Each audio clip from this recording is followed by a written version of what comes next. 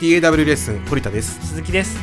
Cubase Short Tips。今回はトラックディレイについての話をしたいと思います。はい。トラックディレイってどんな機能なんでしょうか？はい。トラックディレイっていうのはですね、はい。普段こうノートを打ち込んでる時に、はい。えータイミングがいつもジャストな音源を使ってればいいんですけどそうじゃない場合もあるじゃないですか。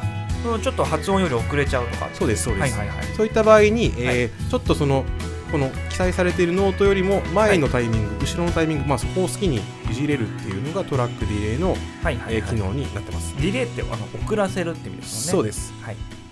そのトラックディレイなんですが、はい。えーこのインスペクターのこの下にあります。はい。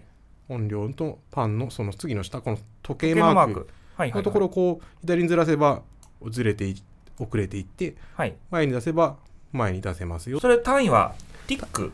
単位は、えーミリ秒ミリ秒ん？ millisec。millisec。ですね、はいはいはい。